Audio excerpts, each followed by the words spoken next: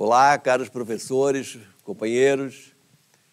Nesta terça-feira teremos duas palestras bem interessantes.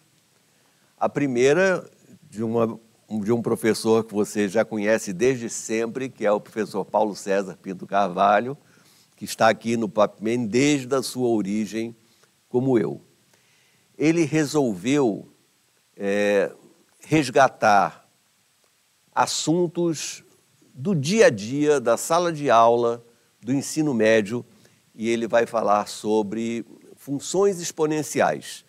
Nós já tratamos disso há muitos anos, mas vamos revisitar e com uma aula diferente e muito instrutiva. Grande parte dela pode ser é, encaminhada diretamente para os alunos. E vamos ter também o professor José Pastore, de São Paulo, com um assunto que também é, interessa a alunos e professores, que é o da construção de gráficos, operações com os gráficos. Como é que eles se movimentam, como é que eu construo gráficos através de operações.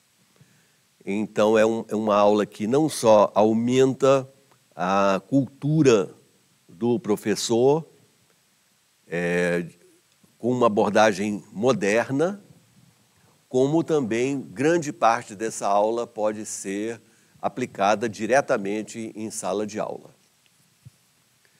Lembrem-se de enviar as perguntas que você quiser sobre matemática, história da matemática, currículo de matemática, Olimpíada de matemática, ou seja, o que for, para que nós possamos ter uma quantidade boa de perguntas na sexta-feira para a sessão final. Aproveitem, portanto, o dia e até amanhã.